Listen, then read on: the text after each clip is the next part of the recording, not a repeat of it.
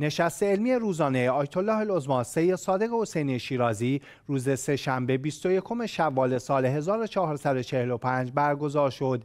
در این نشست همچون جلسات پیشین ایشان به سالهای حاضران در جلسه پیرامون مسائل مختلف فقهی پاسخ دادند.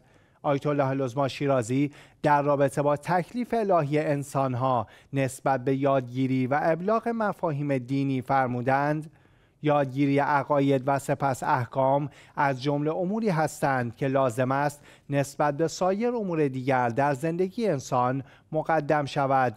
به اندازه ای که برای انسان امکان انجام آن وجود دارد.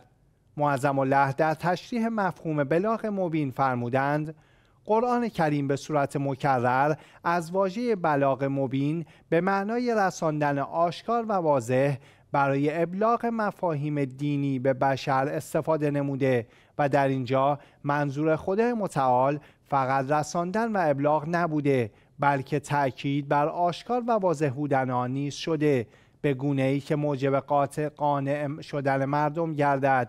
ایشان در ادامه فرمودند اگر مردم به آنچه که به صورت واضح و آشکار به آنان ابلاغ شده عمل کردند در این صورت نتیجه مطلوب حاصل شده. اما اگر به آنچه که به آنان به صورت آشکار و واضح ابلاغ شده عمل نکردند حجت بر کسانی که این وظیفه را انجام دادند تمام شده است.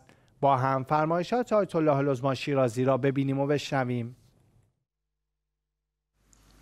البلاغ المبین. يعني فالشكل الإنسان يبلغ العقائد الأحكام الإلزامية ما وجب ولو بالوجوب الكفائي يبلغ بلاغا مبينا يعني مقنعا بحيث يكون الطرف يوم القيامة لئلا يكون للناس على الله حجة. قل فلله الحجة البالغة. يعني الحجة اللي وصلت. حتى يتم هذا.